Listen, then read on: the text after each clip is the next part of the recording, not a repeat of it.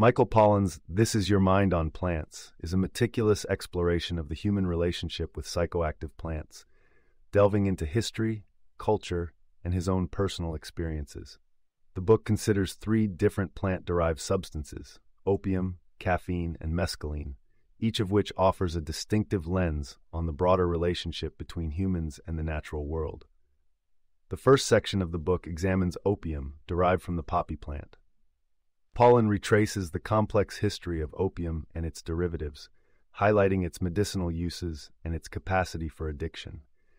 He reflects on the legal and ethical ramifications of the war on drugs, questioning the rationale behind certain substances being deemed illegal, while others are not only legal but deeply integrated into daily life.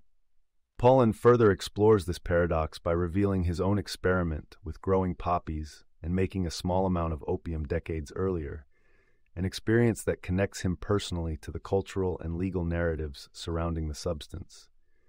Moving to caffeine, a substance found in coffee, tea, and various other plants, Pollan dives into its global influence. Caffeine is the most widely used psychoactive substance in the world, and he details its biological effects on the human brain, its role in history, and its economic impact. Pollan provides an account of the origins and spread of these caffeinated beverages, considering how they have shaped societies and economies. He then undertakes an experiment by abstaining from caffeine for several months, giving him first-hand insight into the deep physiological and psychological dependencies that emerge from regular use. The final plant Pollan investigates is the peyote cactus, specifically the active component mescaline, which has been used for spiritual purposes by indigenous peoples in the Americas for thousands of years.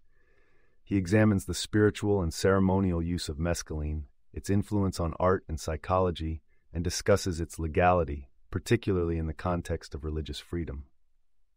Pollan contrasts the indigenous use of mescaline with the more recreational or spiritually exploratory usage in Western contexts, initiating a broader discussion about appropriation and the ethical dimensions of drug use.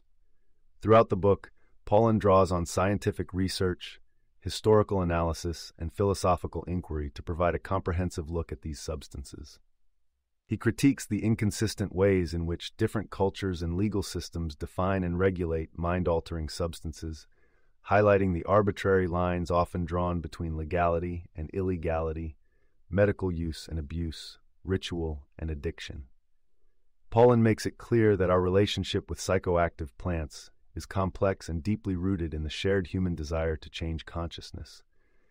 He attributes this desire to a range of factors, from the pursuit of spiritual enlightenment to the need to enhance productivity in a modern capitalist society. This is Your Mind on Plants is not just a contemplation of substances, but also an account of human nature, personal autonomy, and the struggle to make sense of the world. The author does not offer a prescriptive stance on the use of these substances, but instead advocates for a more informed and nuanced understanding. By doing so, Pollan invites readers to reflect on their own use or avoidance of psychoactive plants in a cultural and legal landscape that often lacks consistency. In summary, This Is Your Mind on Plants is both a narrative and a discourse on how humans interact with plants that alter their mental states. By weaving together science, personal experience, and cultural history, Pollan illuminates the diverse ways in which these plants affect our bodies, minds, societies, and legal frameworks.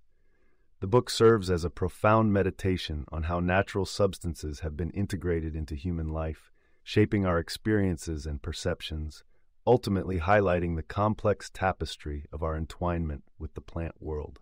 You can listen to the full audiobook for free by following the URL in the description.